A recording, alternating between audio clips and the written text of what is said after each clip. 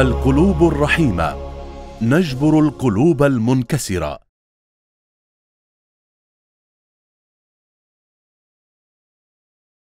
بسم الله الرحمن الرحيم. أعزائي مشاهدي قناة المهد الفضائية أهلا وسهلا بكم في حلقة جديدة من برنامج القلوب الرحيمة. أعزائي المشاهدين اليوم معنا مجموعة كبيرة من ذوي الاحتياجات الخاصة وكذلك الأمراض الأمراض اللي مزمنة دائما مع الإنسان مثل السكر الضغط. وكذلك أمراض خبيثة. فأيضا اليوم جمعناهم في هذا الجامع المبارك في هذه القاعة. حتى نقدر نساعدهم نقدر نوقف وياهم. وأيضا آه، طبعا أكو ناس بحاجة إلى عمليات وبحاجة إلى من يقف معهم لأن ظروفهم صعبة وما عندهم القدرة على آه، دفع أجور العملية أو مراجعة طبيب اختصاص يشخص مرضهم ويشخص العمليات.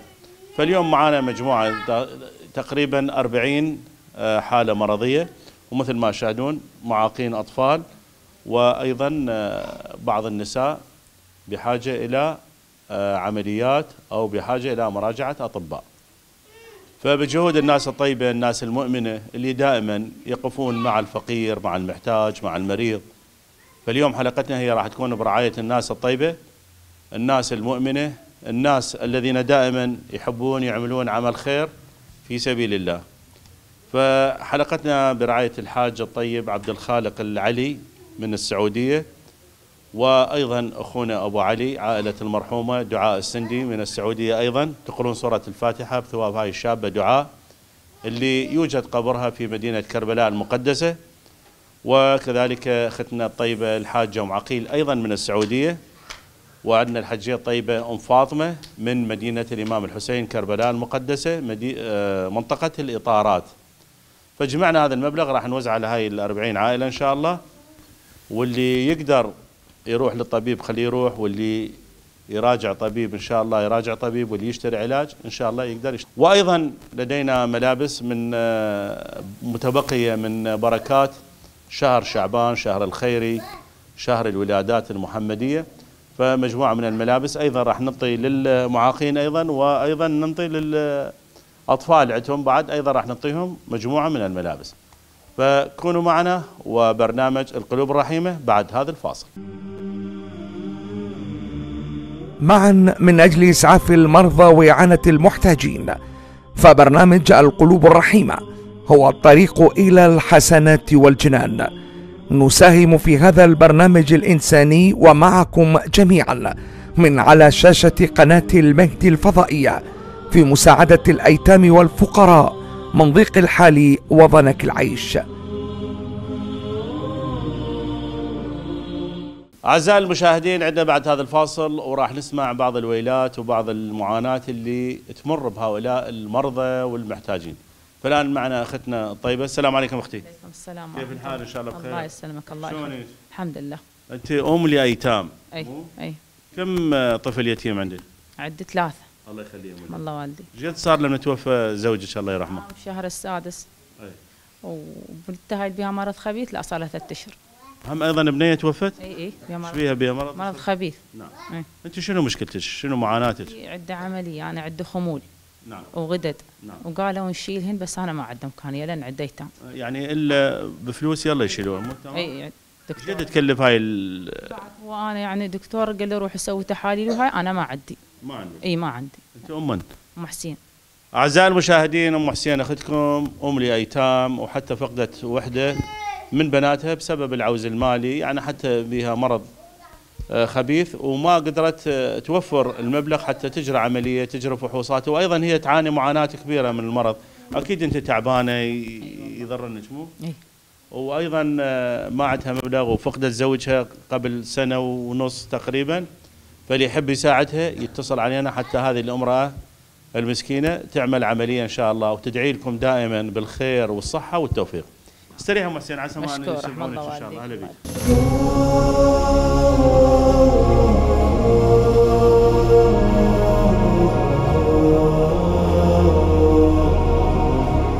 القلوب الرحيمة نجبر القلوب المنكسرة. أعزائي المشاهدين من حاله لحاله ومتواصلين وياكم وبرنامج القلوب الرحيمة. السلام عليكم أختي. عليكم السلام؟ ورحمة الله. الحمد لله والشكر؟ إن شاء الله صحة وسلامة. الله وعافية. والديك أشكرك يعطيك العافية أشكرك. أمون أنت؟ أنا أم زهرة. أم زهراء إيش خيرك أم زهراء أنا عندي غدة سرطانية وشلتها. نعم. وأهل الرحمة سوت لي العملية. نعم. وشالت الكبسونة شعاع اليود. ومحتاجة هسه ثانية هاي. نعم. إيش قد يكلف هذا المبلغ؟ والله هو اشتراها الولد إلي أنا باثنين وربع. مليونين وربع. إيه. نعم. وهسه ضل عليها بعد يعني حتى عندي ورم بلعومي كل شيء عندي. يعني لها وقت محدد وخلص وما عندك آه، إي ما عندي استعداد. إي ما عندي؟ إي ما عندي. أعزائي المشاهدين اختكم ام زهراء أكو مادة كبسولة يسمونها؟ شعاع اليود. شعاع اليود هاي سعرها مليون يعني واجورها تروح لبغداد هاي هناك مدينة الطب يضربوها وترجع. فاللي يحب يساعد هاي المراه المسكينة طبعا مو بس هي مريضة حتى أطفالها عندها ثلاث أطفال مرضى ولا حول ولا قوة إلها. فاللي يحب يساعدها رأفة بأطفالها رأفة بالإنسانية بالرحمة. وهذا طبعا إحنا مقبلين على شهر رمضان أيام معدودة. فإن شاء الله لكم أجر عند الله ينقذ له مريض اللي يساعد له فقير اللي فساعدوا هالمسكينة هاي حتى تشتري يحتاج لها مليونين ونص عراقي مع أجور النقل إن شاء الله مزهراء يسمعونك الله شو تقولي لي اللي يعمل عمل خير والله ماكو بس الله وان شاء الله يعطي العافيه والصحه والسلامه إن شاء الله بجاه الحسين وهذا شهر الطاعه على علينا راح يجي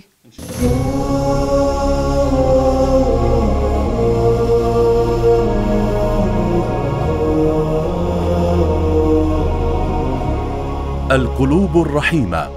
نجبر القلوب المنكسرة. السلام عليكم أختي. عليكم السلام. أهلا وسهلا. أهلا وسهلا بك. هذه بنتك إيش بيها؟ عندها ضمور بالدماغ.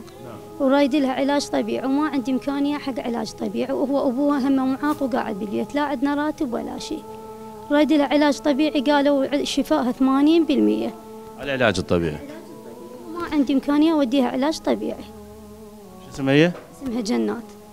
أعزائي المشاهدين شوف هذه الطفلة المسكينة على مبالغ بسيطة طبعا علاج طبيعي واللي يحب يساعدها يقدم لنا العون والمساعدة اثنين ثلاثة تبرعوا عينونا هاي الناس اللي يحتاج عملية كل واحد 500 كل واحد 250 أربعة مليون. وساعدوا هاي الناس المساكين ساعدوهم حتى يروحون يتعالجون يشترون علاج يشترون كبسولة إشعاع فإن شاء الله خير وبركة يا أختي أم جنات أهلا وسهلا بك رحم الله والديك أعزائي المشاهدين سوف أقوم بتوزيع المبالغ المالية على الناس اليوم المتواجدين معاي. والله إن شاء الله يساعد كل من يساعد لمريض وفقير ومحتاج. فكونوا معنا هو برنامج القلوب الرحيم.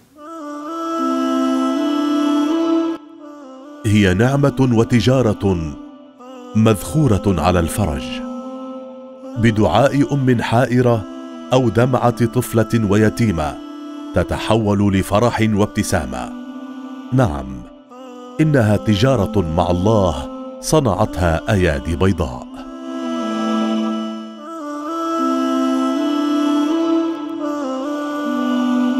قال الإمام علي بن الحسين عليه السلام من قضى لأخيه حاجته فبحاجة الله بدأ وقضى الله بها مئة حاجة في إحداهن الجنة. والله لقضاء حاجته أحب إلى الله من صيام شهرين متتابعين باعتكافهما في المسجد الحرام. ومن سعى له في حاجة حتى قضاها له فسر بقضائها. كان كمن أدخل السرور على رسول الله صلى الله عليه وآله.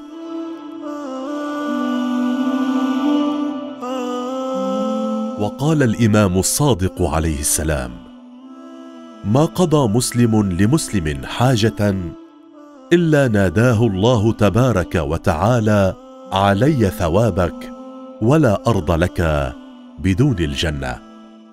وقال الإمام الحسين عليه السلام اعلموا أن حوائج الناس إليكم من نعم الله عليكم فلا تملوا النعم فتتحول إلى غيركم.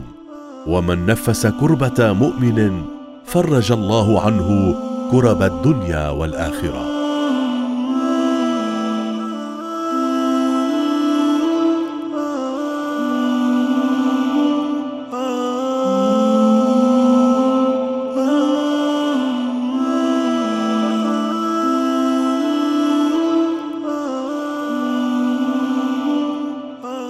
أعزائي المشاهدين شاهدتوا عملية توزيع المبالغ المالية وكذلك الملابس على المرضى والمعاقين. اليوم متواجدين معنا في هذا الجامع المبارك. شكرنا وتقديرنا إلى خادم الإمام الحسين وخادم الجامع الحاج أبو سيف. الله يعطيه الصحة والعافية اللي دائما يسعى ويفتح أبواب الجامع لاستقبال العوائل المرضى. تحية اعتزاز وتقدير إلى كل من ساهم معنا في حلقات برنامج القلوب الرحيمة. وبالأخص حلقة هذا اليوم اللي هي كانت برعاية الحاج عبد الخالق العلي من السعودية وعائلة المرحومة دعاء السندي أيضا من السعودية. تقرون سورة الفاتحة بثواب المرحومة دعاء. وشكرنا وتقديرنا للحاجة أم عقيل أيضا من السعودية وإلى الحاجة فاطمة من مدينة كربلاء مدينة الحسين منطقة الإطارات. تدعو لهم بالخير والصحة والتوفيق. وكذلك تمنياتنا للمرضى الموجودين معنا إن شاء الله بالشفاء العاجل وأن الله إن شاء الله يمن عليهم بالصحة والخير والبركة. شكرنا وتقديرنا إلى كل من ساهم معنا في حلقات برنامج القلوب الرحيمة. ونتمنى إن شاء الله المزيد وأيضا نتمنى العطاء يكون أكثر وأكثر. أعزائي المشاهدين أيام معدودة جدا ونستقبل الشهر الفضيل شهر الخير والبركة شهر رمضان المبارك. نتمنى المساهمة الجادة في مشروع إفطار صائم حيث يقدم برنامج القلوب الرحيمة سلة رمضانية متكاملة للعوائل الفقيرة والمحتاجة في جميع أنحاء العراق. نتمنى لكم الخير والتوفيق إن شاء الله والله يدوم عليكم إن شاء الله. هذا الشهر الفضيل إن شاء الله ببركة دعائكم إن شاء الله بتعجيل ظهور صاحب العصر والزمان الإمام المهدي عجل الله تعالى فرج الشريف.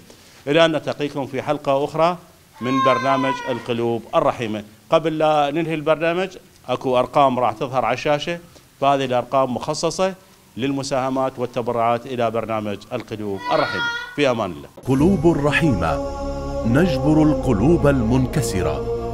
للمساهمة يرجى التواصل على الأرقام التالية: 00 964 780 واحد صفر صفر واحد تسعة واحد اثنان أو على الرقم التالي صفر صفر تسعة ستة أربعة سبعة سبعة صفر خمسة سبعة ستة ستة ستة أربعة ستة أو عن طريق الواتساب على الرقم التالي صفر صفر تسعة ستة أربعة سبعة ثمانية صفر خمسة صفر صفر صفر خمسة اثنان خمسة ويمكنكم التواصل معنا عبر الإيميل info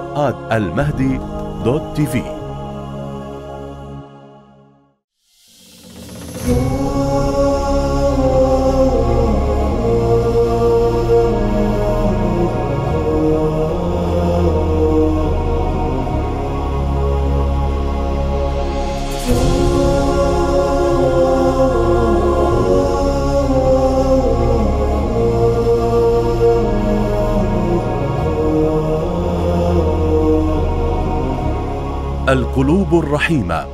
نجبر القلوب المنكسرة.